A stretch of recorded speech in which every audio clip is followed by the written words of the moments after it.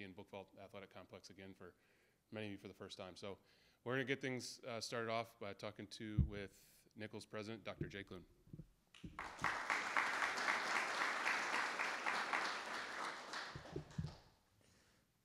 Thank you. I'm going to take this off. Miss Allison wanted to be here so badly, but she is shopping for my daughter who's moving back in an apartment in a few days and had to go to Houma. Uh, good afternoon. I want to thank you all for coming for two really exciting starts at Nicholls State University. We are so glad to be here in the Book Vault Athletic Complex and for all of you to get the chance to see the new home of Colonel Football. Hopefully you get a chance to look around and to feel the excitement that our student athletes felt last week when they entered the building for the first time. If you haven't seen that video, please go and watch it. So much of what we do here at Nicholls State University, the very excitement that we saw on the faces of our football student athletes, would not be possible without the generous support of so many of our loyal community members, many of whom are in this room today. Standing in this facility today, we cannot thank the Book Vault family enough for their generosity. The Book Vault Athletic Complex is an example of the support that Nicholls has for continued success as a premier FCS football program. That respect for Nicholls was also evident during the hiring process for a new leader for our baseball program. As inquiries about the position started as soon as it became open, as I know from poor JT, uh, his cell phone blew up as a result of the baseball opening. But fit is so important to us here at Nicholls. Nothing is more important than fit. I think the evident, the evidence of that success is with Coach Tim Rebowe, the fit for this program here. It was clear from the beginning of the search process that Mike Silva is the fit we need here on campus, in Thibodaux, and in the Bayou region. Success on the diamond has followed Coach Silva everywhere he's coached, including hosting the 2021 NCAA bas- baseball baseball regional at Louisiana Tech this past spring. But it was his commitment to student athletes that brings us here today, the alignment of his goals and the importance of community that both Coach Silva and Nicholls share will be the continued will help the continued and storied success of the Nicholls baseball program. We are looking forward to Coach Silva, his wife Reagan, and his son Dylan becoming members of the Nicholls family. Welcome.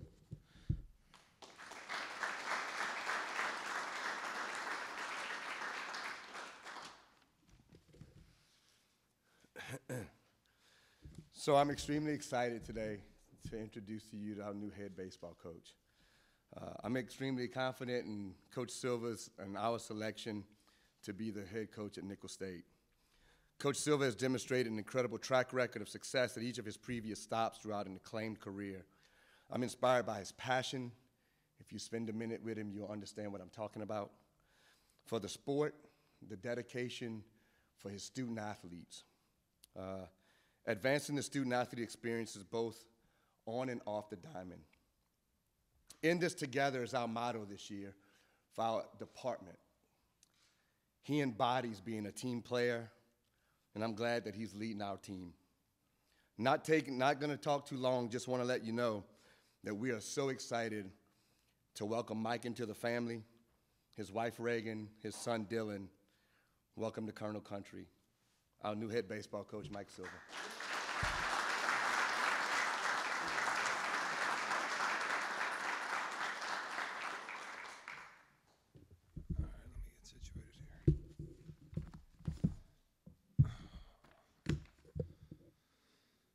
Okay, well, I guess good afternoon.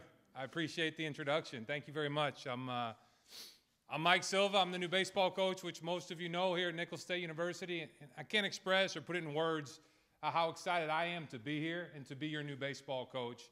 Uh, I think I speak for my family, my wife Reagan, and my son Dylan. Uh, we look forward to being a part of this community, being entrenched in this community, and uh, being like everybody else in this community. Just, just like uh, JT said, in this together. I think that kind of represents who I am and what I'm about and, and what our family's about. But um, I would like to thank our president, Dr. Clune. Thank you for this opportunity. Uh, I can't tell you, I've been working my whole career for an opportunity like this. And so, from the bottom of my heart, I'm going to work daily to make you proud. Uh, our athletic director, Jonathan Terrell, I, I appreciate you. I, I, can't tell you your, your, your enthusiasm and excitement for this university, for this athletic department, um, second to none. You embody what it means to be a student athlete here, and I hope our players can feel that enthusiasm for me like I felt from you when I came here to interview for this position. Thank you. To our Deputy Athletic Director, Andrew Kearney, you probably don't get enough credit. I- I've seen firsthand the hats that you wear, the enthusiasm, the effort that you have. No job is too big, no job is too small. And just your passion, your energy, you want to, for to allow us to be successful because ultimately you care about our president's vision of putting student athletes first. I felt that the first time I met with you. Somebody that gets a lot of credit because he's accomplished a lot, uh, and he probably doesn't want me to thank him right now. Uh, Coach Tim Rebowe. Coach, you don't have to do what you've done for me, and I've been here a short time. What you guys don't know is he, he walks across the hall all the time. He's getting ready for a football season. He's got a nationally ranked team with national championship hopes and, and goals, and he, puts other people first. Uh, he's never too busy. I can't tell you how many mornings I've sat in his office. I've asked him real questions. I needed leadership and direction. Uh, it's like having another athletic director here at the university. I think that JT's vision is embodied by you. I hope that I can make this community as proud as I know you have. You're from the, the river parishes. Uh, He's been educating me on the, on the area. I'm from just up the bayou in Hull, Massachusetts, so.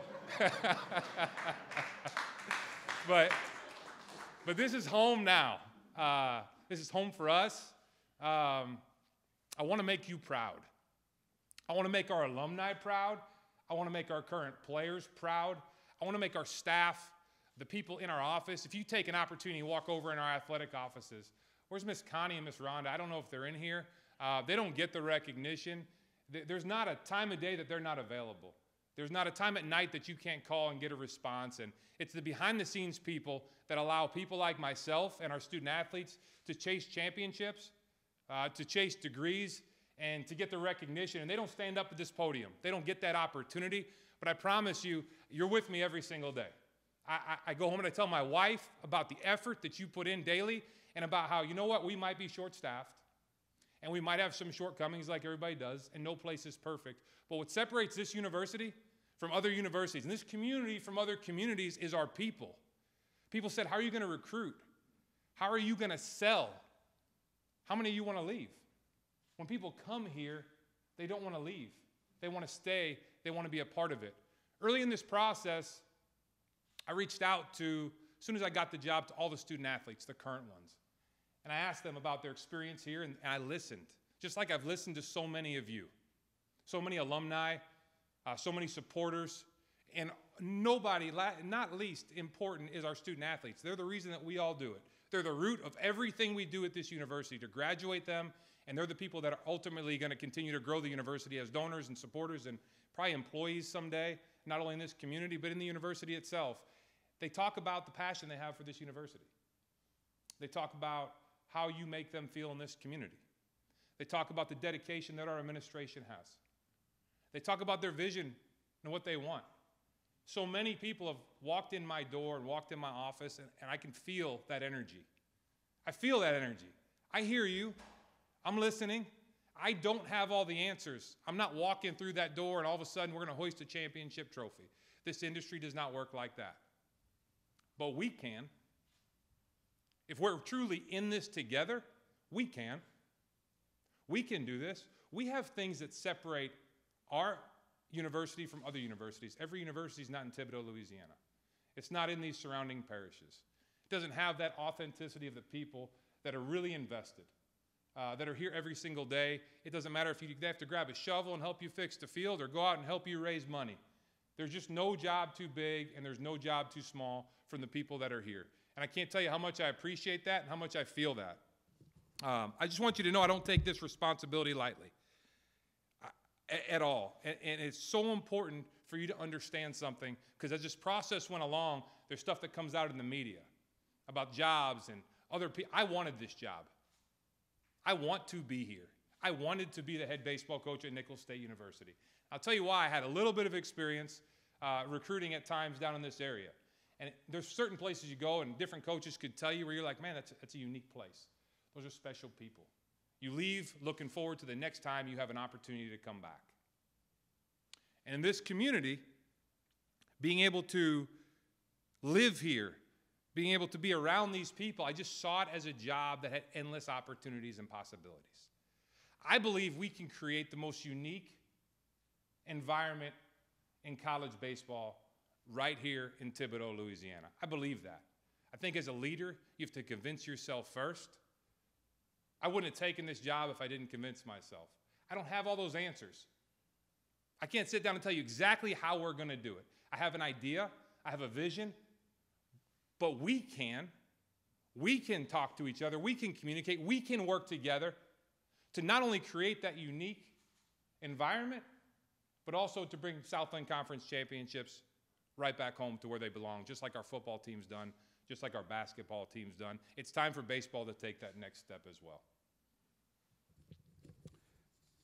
Um, I, I wanted to mention this. So I was, when I was interviewing, I had uh, Miss Katie Callahan was sitting there. She's a former student now that she works at the athletic department. She, I don't know if she's in here, but she uh, she's sitting down and everybody's interviewing you and they're going through and everybody's being great and they're, they're, they're asking questions just like interviews do and it gets to her and i wasn't ready for it. She's like coach i want to win championships. That's what i want. And so so so i said it. I do too. I just i didn't say it that day but i do too. That's ultimately the goal and the root of everything that we do. And i walked out of there though and uh, i was joking with her today. I love that passion. She's a student athlete. She lives here. She works in the department. She lives it every day and so, if you're not surrounded with people that have that dream and have that vision, then ultimately, who do you want to be surrounded with?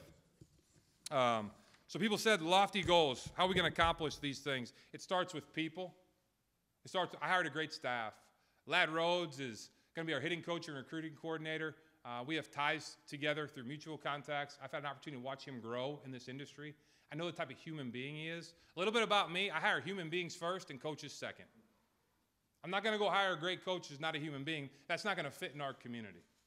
He's an unbelievable person. He's an unbelievable husband. He's an unbelievable father. Our players are going to benefit. He's great at developing, developing relationships, and he has experience in this conference, which is important. Cody Livingston is going to be our pitching coach. I've been in the trenches with Cody. There's nothing that he will not do to be successful. There's no, you, when you meet these guys and you have a chance to spend time with them, you're going to want to spend more time with them. That's really significant in this industry because our student athletes need to want to do that too. Because we're going to spend more time with these kids than we spend with our families and ultimately than they spend with their families. And then Grant Matthews. Grant's a local guy, Country Day High School. His dad's a high school coach there. Um, Grant's probably the only outside the box hire that I had because Grant wouldn't leave me alone. He wanted an opportunity in college baseball so much. And if you're from here or, or where I grew up in Hull, Massachusetts, it's hard sometimes to get somebody that's an outsider to really pull your strings and, and you want to hire him. But he, he embodied so many things that persistence, um, passion. Uh, his story in college athletics of being basically a guy that they didn't want to becoming their best player in a major league draft pick. His passion for this area. He's, he's a New Orleans guy uh, his understanding of who we are. I didn't sugarcoat what this job is and what this opportunity is and what his salary is, which is nothing. So, and he still signed up for it. But these are names, these guys and these names, th- these are going to be household names in college baseball. I'm confident in that. I was very fortunate. Very rarely, when you get a job, do you get to hire the people that you want, that you feel like you needed to allow the program to grow in the direction that you have envisioned in your mind. And I feel like I did that. So you're not going to hear me say I didn't get to hire my people, because my people, they're here with me. And I'm very grateful and I appreciate you guys for, for believing in me and taking this opportunity to be here. Promise I won't go too much longer. Um, I believe that life's about moments. I believe that. I'll talk to our student athletes about that. A moment when you show up to college. All of you know what that moment's like. A moment when you show up to your first football game or baseball game when you're a kid. Uh, these are special moments for coaches. And you don't get here without tremendous student athletes that believed in you when you were starting out in your career. I'm sure everybody that's ever coached that's in this room, or doesn't matter if it's a little league team or, or, or a major league team, I think you can remember your first meeting with, with that team or that group, especially your first head coaching. I remember mine, and thank God those kids, they were a godsend. I, I cannot believe they put up with me, and they taught me more about how to be a great coach and my struggles and my failures uh, than I taught them, that's for sure. But to every player that's ever believed in me, committed to me, um, thank, thank you. The student athletes, the root of everything we do, and for them to believe in you at any university you're working at is special. I just want them to know from the bottom of my heart I'm here because of you. From every university, every college, it gave me an opportunity. Um, I didn't have ties. I didn't have a famous coach that was going to call me. I told JT that when we spoke on the phone for the first time. He said, Well, who's, who's calling on your behalf? I didn't have anybody famous. I, I've had to grind and work and work and get told no my whole career. I have a binder full of no's. And I told him, I'm just, I'm just looking for an opportunity. I'm looking for this opportunity. But this moment is special to me, it's special to my family. I'm grateful for you guys being here. Coach, I appreciate you using the facility to get them in here for me. I appreciate that. I'll, hey, you get them to the field too. We'll take them any way you can get them, Coach. I appreciate it. Um, um, to my family, my mom and dad for believing in me. Stress in education. I was a kid that probably shouldn't have graduated from high school. I have two college degrees. Uh, to my wife, Reagan, and my son, Dylan, I'll get emotional talking about her. Uh, it's been 17 years. It's been dorm rooms. It's been working for no money. It's been somebody, she knew this moment was possible, probably even on days when I didn't. Thank you. I love you. Lastly, and not least, Louisiana Tech University gave me an opportunity three years ago, going on four years ago. Coach Lane Burroughs, I'm indebted to you forever. I wouldn't be, we all know, I wouldn't be standing here today if it wasn't for that opportunity that he gave me to be a part of his vision for that university. And I can't tell you the amount of gratitude I feel towards the people of Ruston, towards the Louisiana Tech community, and towards Coach Burroughs and the rest of the coaches that I was so privileged to work with there. From the bottom of my heart, Coach, if you see this, thank you. To the people of Ruston, the way you treated my family, uh, the way you supported me through the ups and the downs. You guys saw this year at the run, but we went through a lot before that. Thank you. And for the support that you showed me when I was pursuing a dream to leave your university and come to another great university. Thank you very much. To everybody that's here today, I want you to know from the bottom of my heart, thank you for taking part in this moment for me. This is a special moment for me and my family. I'm good. We're gonna open the floor for questions. If anyone has questions, raise your hand or to address Coach Silva. It's easy. Coach, you talked about fit, uh, Dr. Clune alluded to it earlier. Um, how do you feel like you fit down here? This is a little different than a couple of your stops. How's your fit going to be, uh, create a winning program in baseball?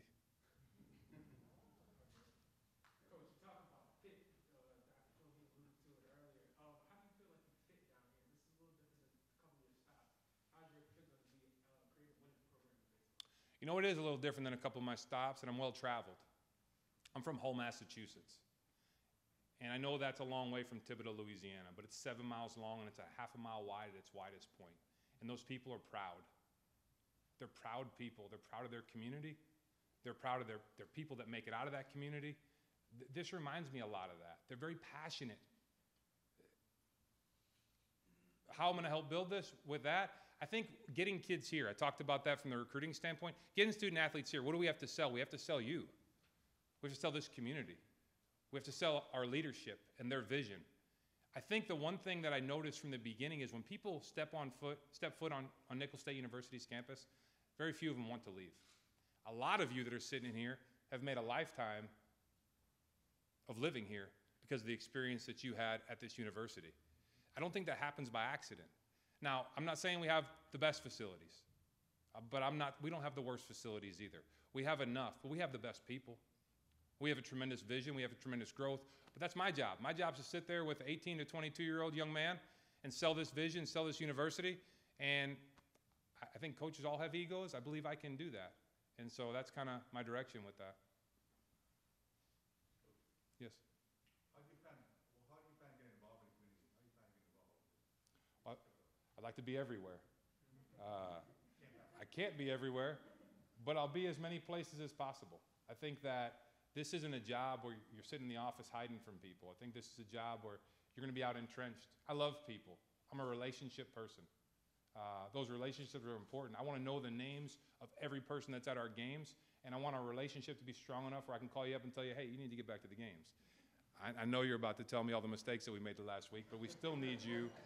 We still need you at the games. And so I think it's a personal relationship. This is a personal place. This isn't corporate. This is a mom and pop. This it's real. It's raw. It's authentic. That's how I feel about this. And if I'm wrong, somebody tell me. But the, the passion that you feel, that you see, that you hear from the people. You know, Dr. Clune told me in our brief meeting when I was on my interview, he said, athletics are the, are the front door to the university. I believe that. What a responsibility that is. It's a front door. So I need to be out there and be present and be setting a good example and be invested in our community because I'm part of that front door to our university. And I'm definitely the front door to our baseball program. Coach, is this the same energy we can expect you to coach with each and every game? I dialed it down today. hey, I didn't even have any coffee. There's just half a cup with Coach this morning. Um, yeah, I think so. Look, I think energy creates energy creates energy.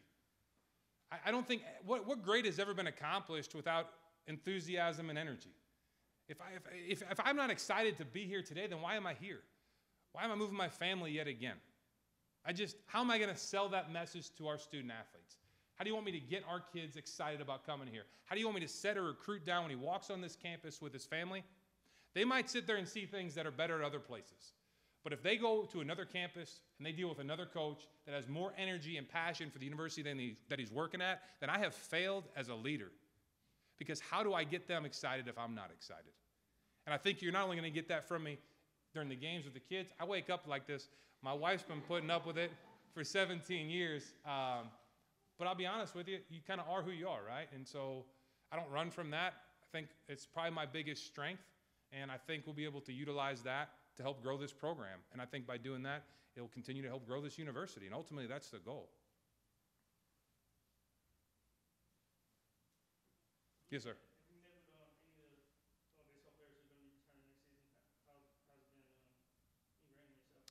Yeah, it's been great. I'll tell you what, uh, it's a great question. I've talked to them all on the phone. I've met with a handful of them that are here. I let them know when I was going to be in the community, and most of them have had the opportunity to stop by.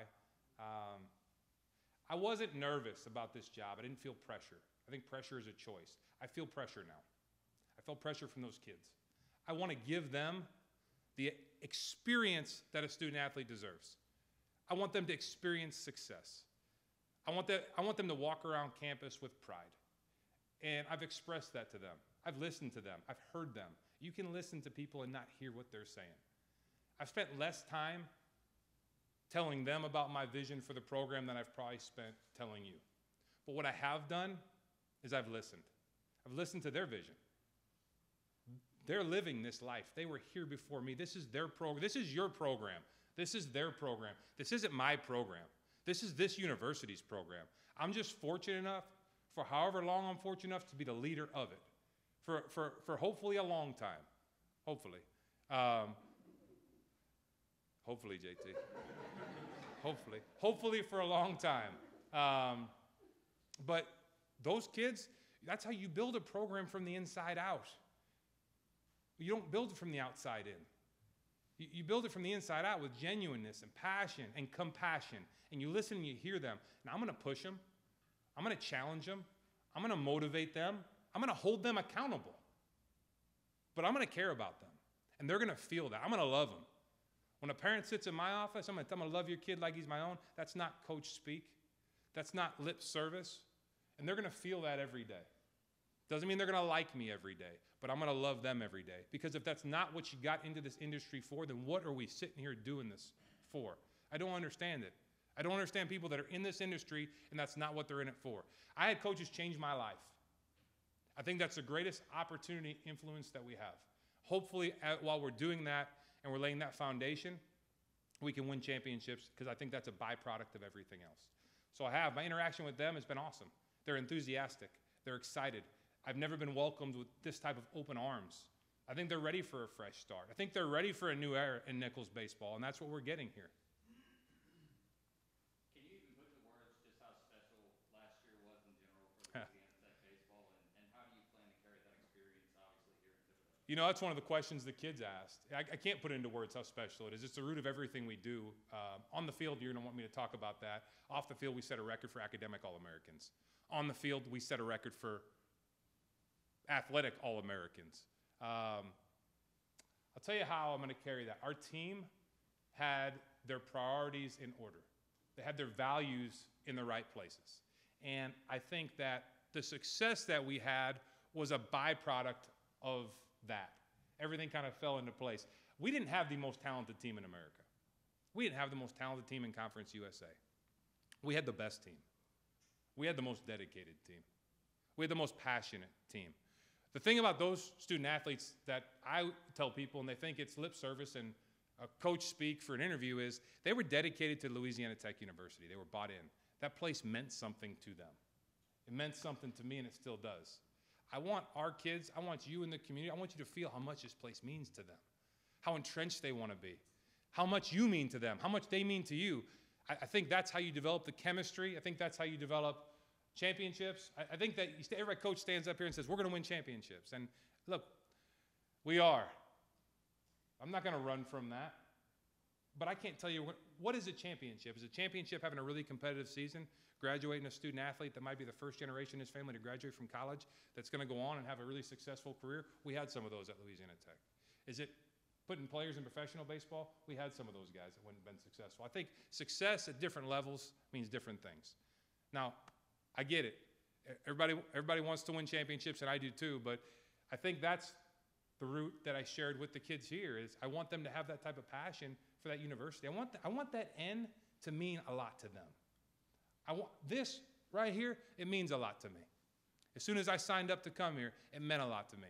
And it's meaning more to me every day as I meet each of you and each experience that I have in this community and at this university. It means more every day.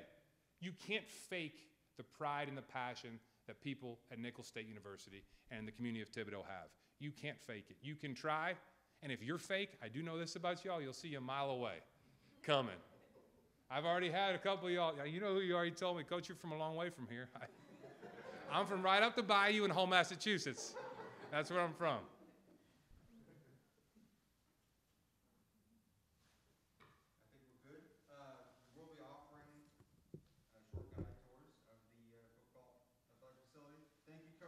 I Thank you. Appreciate it.